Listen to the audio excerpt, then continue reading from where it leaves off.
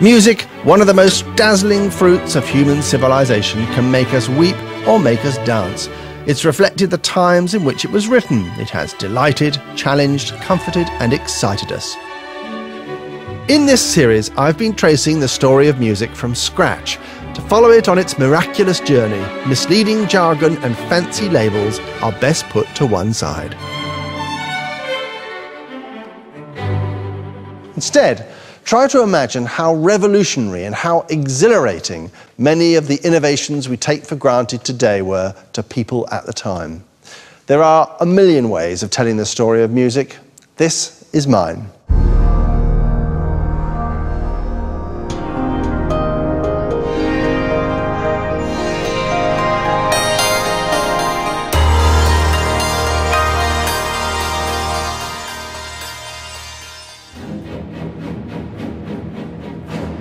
In the 31 years between the death of Richard Wagner in 1883 and the outbreak of the First World War, music was shaken by a series of rebellions. Russian music swept westwards exuberantly, as did the exotic sounds of distant continents. And symphonies and operas of astonishing intensity amazed and startled audiences modernism in music was born. The world was becoming a smaller place, with millions of poor European immigrants seeking refuge in the New World to join the white settlers, African Americans, and Chinese workers already there. From this rich mix of musical cultures, soon to be heard on new-fangled record players and radios, would spring the blues, ragtime, and jazz in just over three decades, music underwent a series of gigantic convulsions. Change came in many different forms, some exciting, some bewildering. Revolution was in the air, and all of music's laws and traditions were about to be shaken to their roots. What happened was a series of musical rebellions.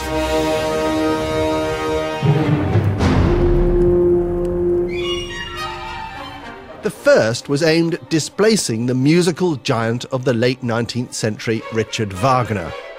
His ideas, his style, and his musical philosophy had been such a pervasive presence in classical music that what might have followed him was a plague of pseudo Wagners. In fact, what followed in his wake was an explosion of musical activity that sought to do things very differently indeed. It may not always have been deliberate, but there was a kind of not Wagner renaissance. All the things he hated most came to life. The French, for a start. In France, a new wave of composers made it their business to write music of deliberate simplicity and clarity, and to banish pretension and earnestness of all kinds. The French were about to enjoy a musical golden age, thanks to their reaction against Wagner. Their best 50 years ever in music blossomed after he went off to his personal Valhalla, with Fauré, Debussy, and Ravel leading a glorious riposte to German musical dominance. The movement was set in train by one of the most remarkable figures in music, Erik Satie.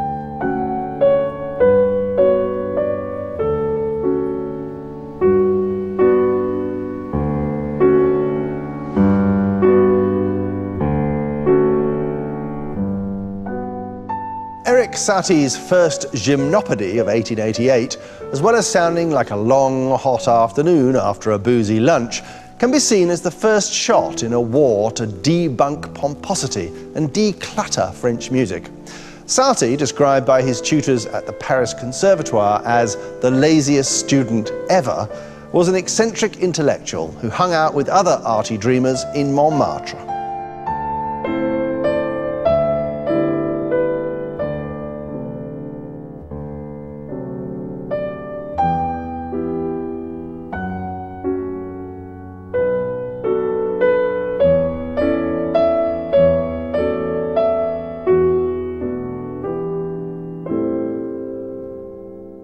Satie's music could hardly sound less like Wagner and what the Germans were up to.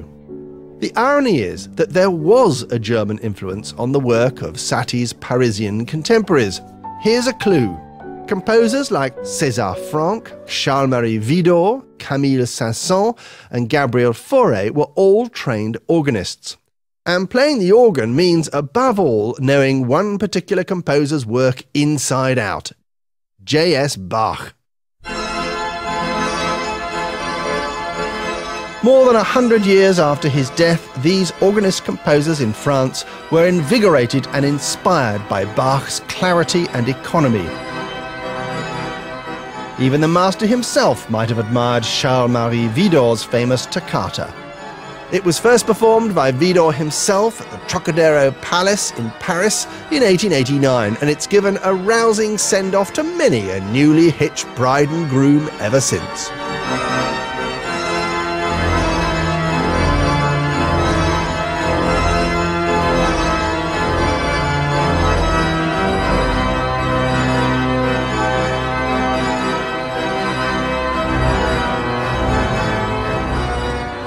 The dignity and dexterity of Bach can also be heard in the music of Gabriel Fauré, perhaps the most talented of these French organist composers.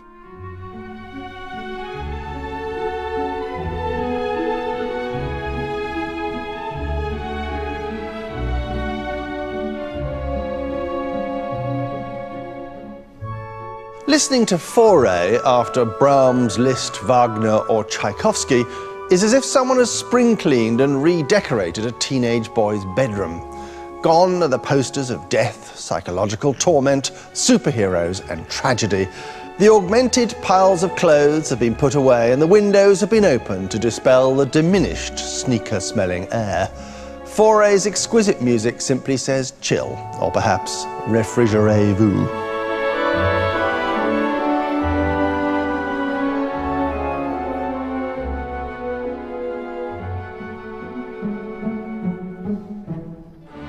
The exquisite pieces of Satie, Saint-Saëns, Fauré, and the new wave of French composers were mostly small in scale.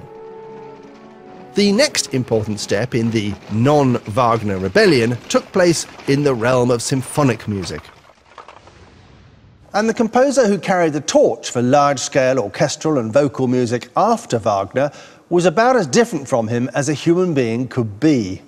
Though he championed Wagner's operas as music director of the Vienna State Opera House, Wagner would have despised him because he was Jewish. He was Gustav Mahler.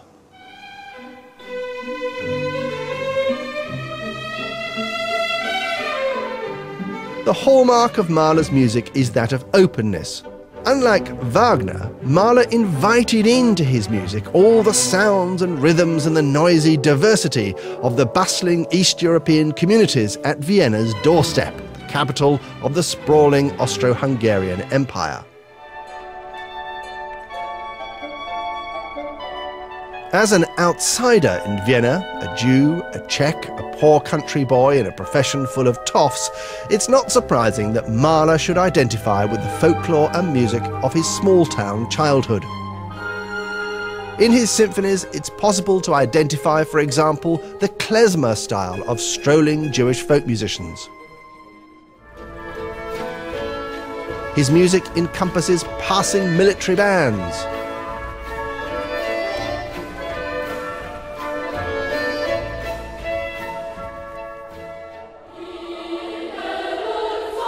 and he's not afraid to include boisterous children's choruses.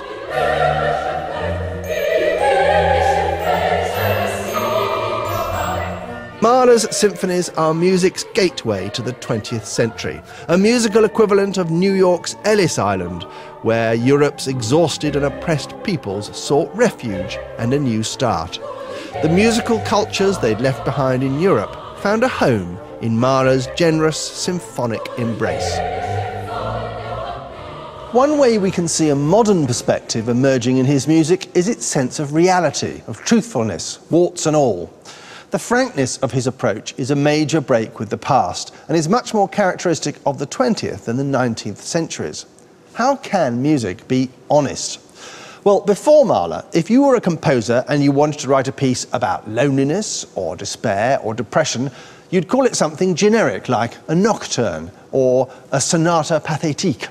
In an opera, you could have singers act out emotional or political issues, pretending to be someone from another era in a fancy costume. But Mahler stopped all this role playing. He wanted to evoke the real, contemporary world with all its actual suffering and joy, without pretense. He told it how it was. Mahler took our worst fears and set them to music. This may seem an unremarkable concept to us, but in 1900 it was shockingly, distressingly new. The unflinching honesty of Mahler's approach is at times unbearable. From 1901, for example, he set to music five German poems called Kindertotenlieder, songs on the death of children.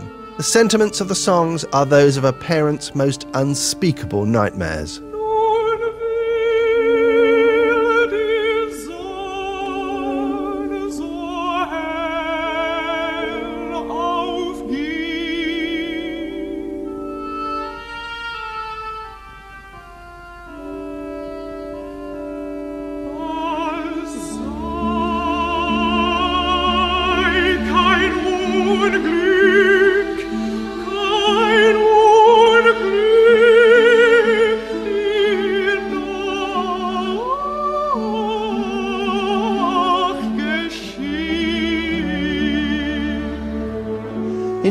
Unflinching settings, these distant people of another century suddenly become like us. He's made them real. In a horrible irony, four years after he wrote the songs, Mahler's own five year old daughter, Anna Maria, died of scarlet fever, and Mahler himself was diagnosed with a terminal heart condition. When he died in 1911, he was laid to rest in her grave.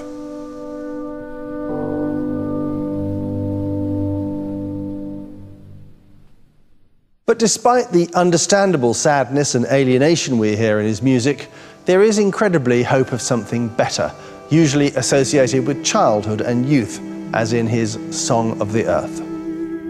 The final chord of the Song of the Earth was described by the mid 20th century English composer Benjamin Britten as being imprinted on the atmosphere.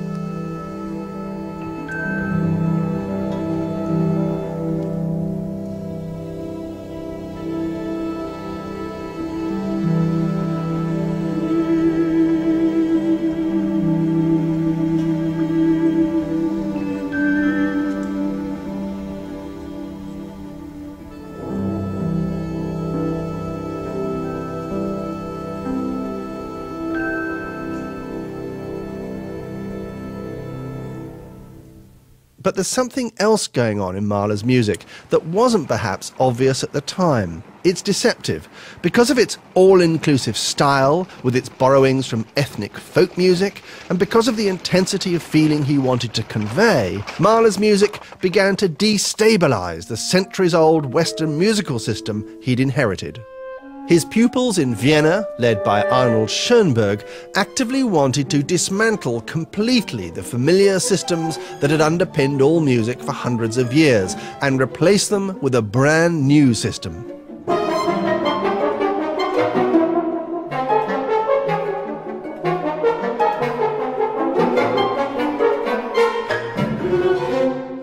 Academic rebellion was later labelled serialism or atonality, and it produced decades of scholarly hot air, books, debates, and seminars, and in its purest, strictest form, not one piece of music that a normal person could understand or enjoy in 100 years. That's not to say that serialism hasn't always had a cultish following, but for sure these composers weren't courting a mainstream audience.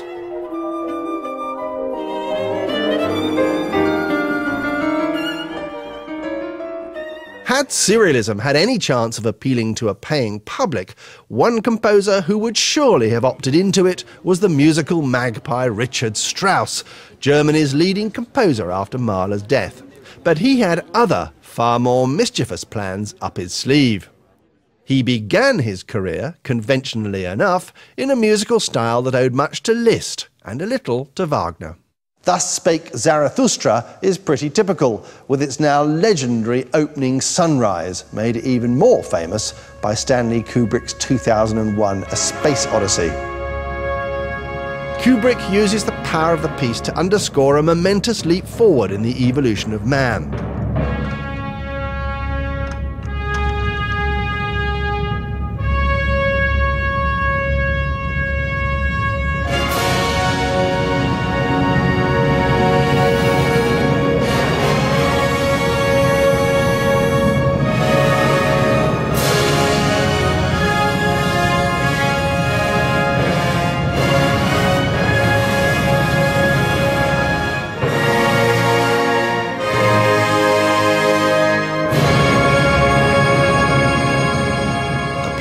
The idea the film wants to convey, man's discovery of weapons, needs equally portentous music.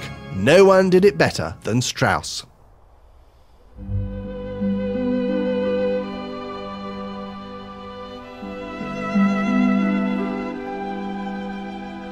And yet, the ever versatile Strauss could also write songs of heartbreaking, Mahlerish delicacy, like the song Tomorrow, composed as a wedding present for his wife.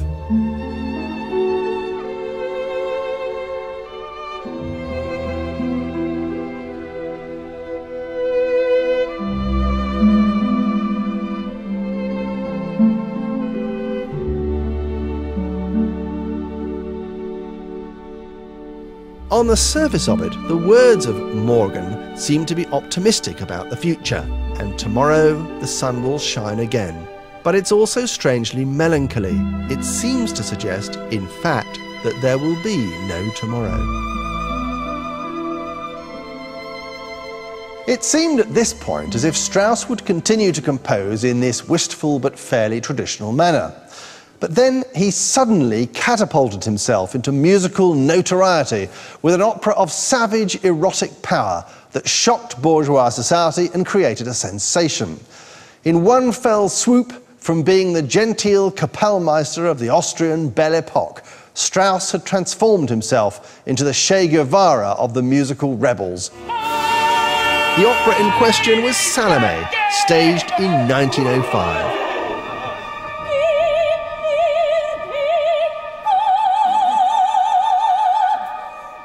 It was immediately banned in several countries, and it gave new meaning to the term discord.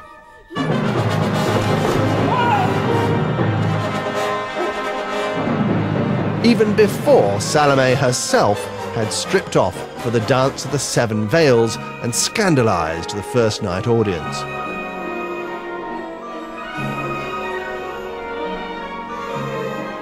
Salome's final passionate solo, addressed to the severed head of John the Baptist, which she then kisses, was the Quentin Tarantino moment.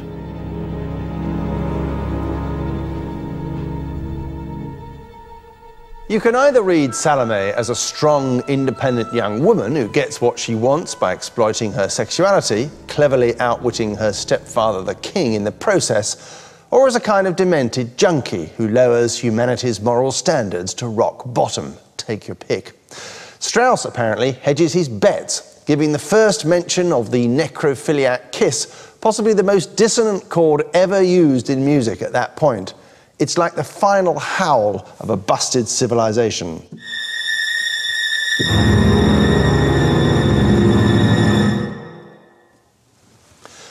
But we're not finished with her yet. After asking whether the taste of blood on his lips is actually the taste of love, Salome revisits the kiss in supreme triumph.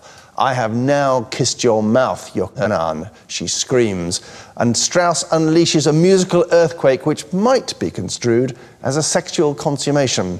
Again, make up your own mind.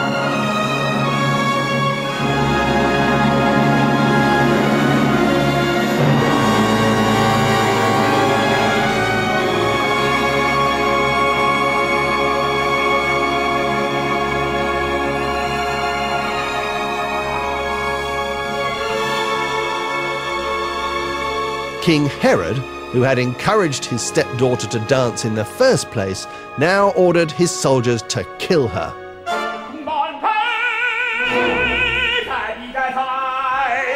For this climax, Strauss reserved his most discordant and angry music yet.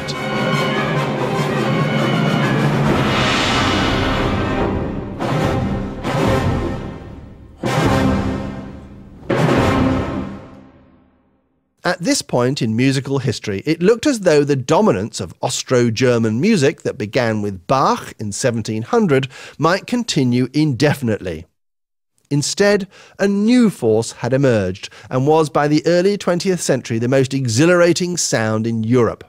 In the closing decades of the 19th century, the sleeping giant of Russia had awoken. Music was never going to be the same again.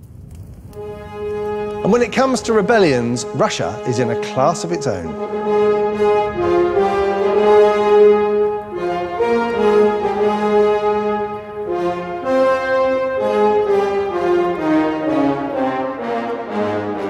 For all of the 18th and most of the 19th centuries, Russia doggedly copied the culture of Western Europe, which the Russian court deemed more sophisticated and interesting than anything homegrown.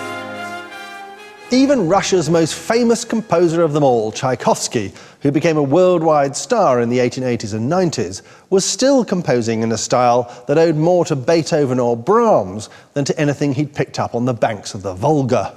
But there was something Tchaikovsky excelled at that was distinctly Russian and that contained within it the seeds of a coming revolution dance.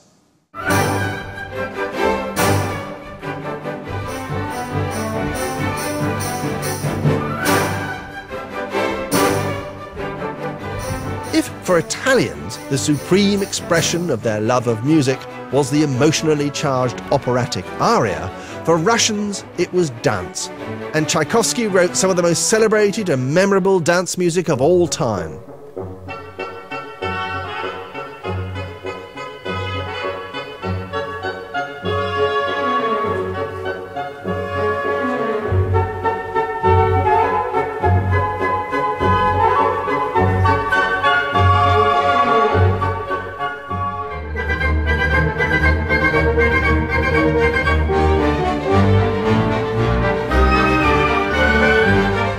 The result of this flowering of dance is that the need for a driving rhythm began to change the character of the music itself, making it more robust, muscular, and exciting.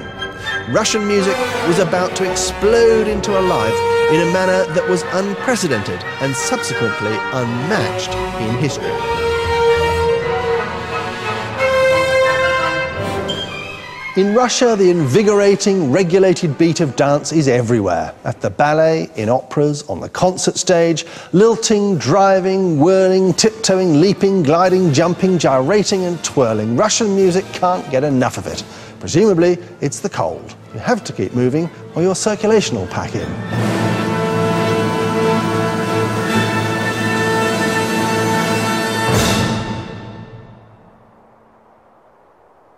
The rhythms of dance first powered this Russian awakening. The second vital element, which changed the melody and harmony, came from a renewed interest in Russia's own religious heritage.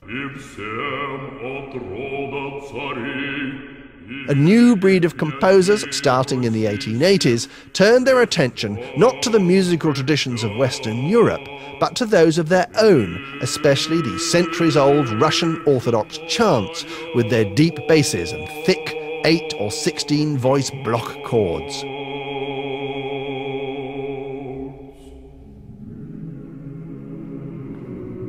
In the decades to follow, this ancient sound, known as Znamenny chant, was to flow like a river into the choral texture of all Russian composers. No longer did they look west for inspiration. The fuse lighter of the Russian firework display about to unfold, the truly original creative pathfinder, wasn't cosmopolitan, well travelled friend of the Romanovs Tchaikovsky but a former military cadet who worked in the civil service and had a fatal vodka habit, Modest Mussorgsky.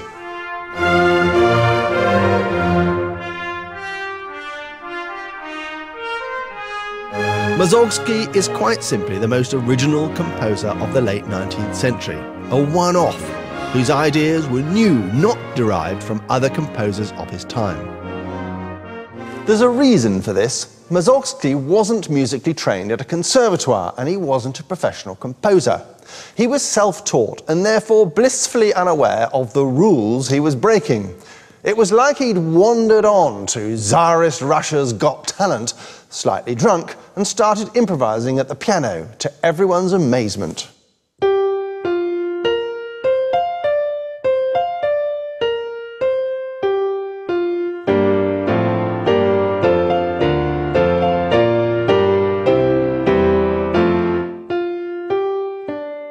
But despite the naivety of his style, which earned him more than a little ridicule at the time, Mussorgsky showed that Russian music could carve its own identity.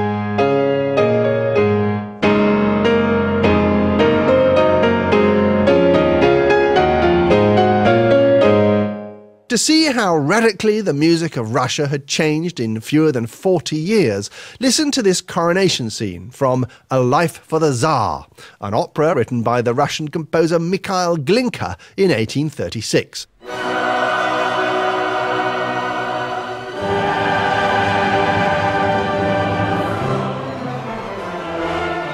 Glinka had his musical training in Italy, Austria, and Germany, and it shows.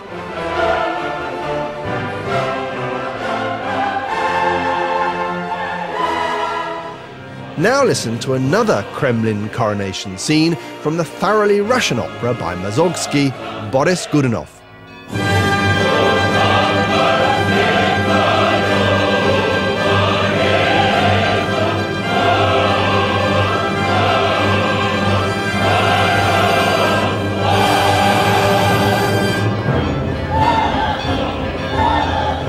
This time, complete with colours, voices, and glittering effects, tolling bells and echoing orchestra chimes, it's been thoroughly Russianized. Mussorgsky died in 1881, his music virtually unknown outside of Russia, but that was about to change.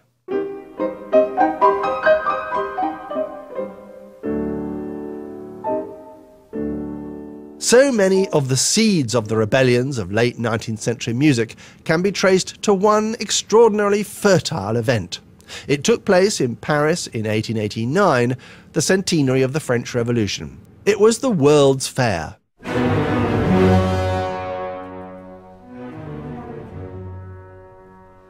Here, in the Trocadero, which overlooked the newly built Eiffel Tower, Widor first played his famous organ toccata. And here also non-Russian composers heard the music of Mussorgsky for the first time. One such composer, then aged 27, was Claude Debussy. His visit to the World's Fair was a life and music-changing experience. What Debussy learnt from Mussorgsky was that there was a way of building up the architecture of a piece of music that was an alternative to the developmental method that was bread and butter to Haydn, Mozart, and Beethoven. The development approach was to take small cells of melody or rhythm, or both, and make up a whole discourse from them over a 15 or 20 minute period. So Beethoven is able to construct a whole symphony movement from this tiny idea Count how many times he uses it in just the first 40 bars of the symphony.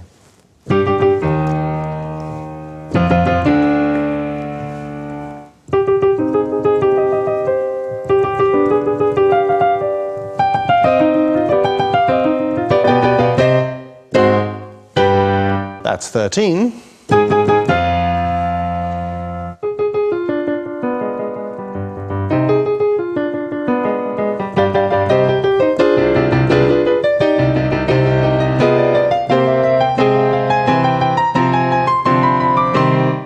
That's already 33 and counting.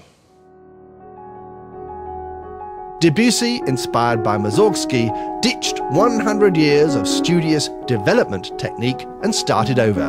Mussorgsky because he knew no better, and Debussy because it suited his taste for experiment.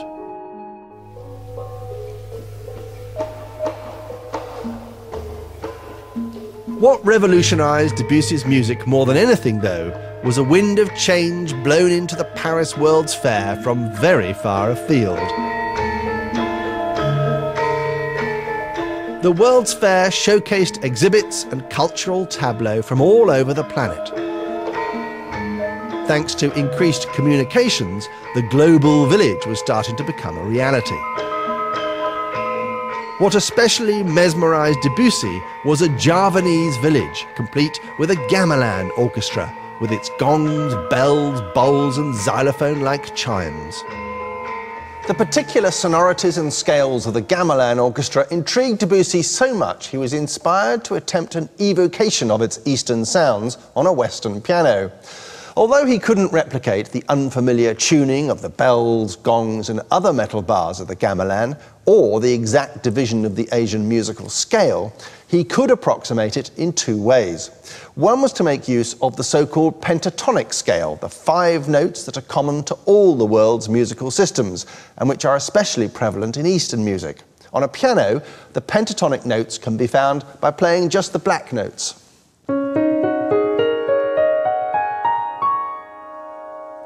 There's a whole section of his prelude, Voiles, Sails, which is all pentatonic.